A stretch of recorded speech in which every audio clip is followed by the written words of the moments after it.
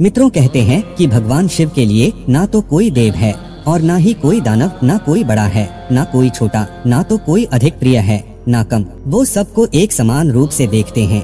अगर कोई राक्षस भी उनकी भक्ति करता है तो शिव उसे भी अपने भक्तों के रूप में स्वीकार कर लेते हैं। ऐसे ही उन्हें देवों के देव महादेव नहीं कहा जाता।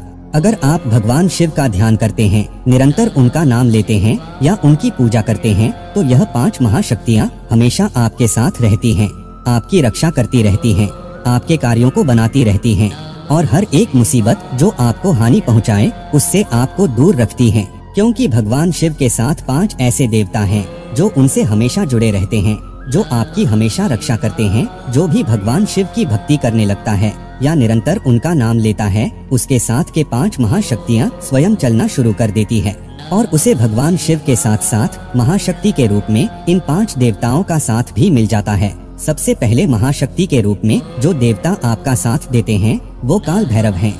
काल भैरव भगवान शिव के रुद्र रूप हैं। काल भैरव का रूप जो है, वो काल से भी परे हैं। जो काल से परे हैं, वो काल भैरव हैं। काल भैरव अपने आप में भगवान शिव हैं और समस्त गुणों को धारण करने वाले हैं भगवान काल भैरव भूत, प्रेत, पिशाच सबके अधिपति हैं, राजा हैं और इनकी आज्ञा के बिना कोई भी बुरी शक्ति आपका अहित नहीं कर सकती जो भगवान शिव का भक्त है, वो काल भैरव का भी भक्त है और जो भगवान शिव की पूजा करते हैं। ऐसे लोगों पर काल भैरव की कृपा हमेशा बनी रहती है और भगवान काल भैरव उनकी हर समय रक्षा करते हैं, जिसके साथ स्वयं भगवान काल भैरव हो, उसे भला किस बात की चिंता?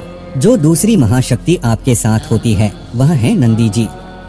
नंदी जी भगवान शिव के बहुत करीब हैं। और शिव जी की सेवा में सदैव तत्पर रहते हैं। नंदी जी की शक्ति असीम मानी जाती है। इसका अनुमान आप इसी बात से लगा सकते हो कि नंदी जी देवों के देव महादेव को भी अपने कंधे पर बैठा लेते हैं। जो भगवान शिव की पूजा या उनको निरंतर स्मरण करता है, स्वयं नंदी जी उनका रक्षण करते हैं और उन्हें सभी मुसीबतों से बाहर निकालते हैं। और सबसे बड़ी बात, नंदी जी भगवान शिव के भक्तों की प्रार्थना, शिव जी तक जल्दी ही और ज़रूर पहुंचाते हैं।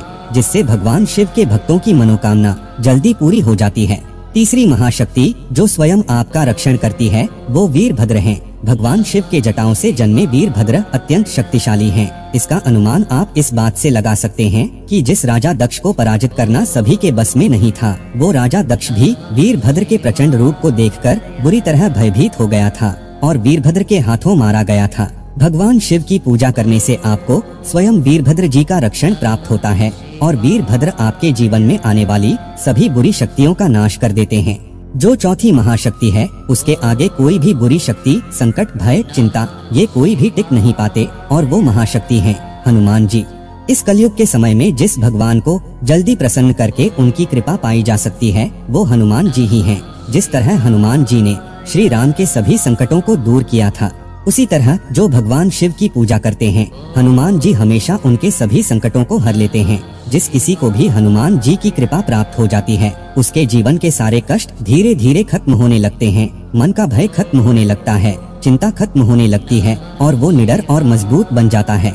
हनुमान जी हर कदम पर उसकी रक्षा करते हैं, और उसका साथ देते हैं, जो आखिरी महाशक्ति आपका साथ देती है। उनका तो बस नाम लेने से ही जीवन सफल हो जाता है। प्रभु श्री राम श्री राम भगवान शिव के इष्ट हैं, और शिव सदा श्री राम का नाम जपते रहते हैं। उसी तरह भगवान शिव भी श्री राम के इष्ट और एक दूसरे के पूरक हैं।